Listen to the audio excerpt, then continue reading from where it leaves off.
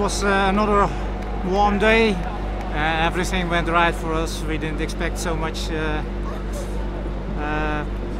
troubles uh, than there were yesterday. Uh, it, it were uh, eight, eight same laps, so normal, normal ride today without losing time, and everything went fine.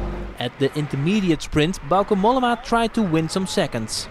Yeah, well, uh, Bauke tried, but uh, also the, the sprinters tried, and the, Bauke is unable to, uh, to, to beat the sprinters. He can do the, the classification riders, but uh, well, he gave it a try, and uh, it shows uh, how keen he is on, on gaining uh, seconds.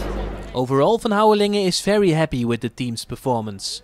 Yeah, our main riders are at uh, 9 seconds, 4 and 15 in the classification, so so far so fine.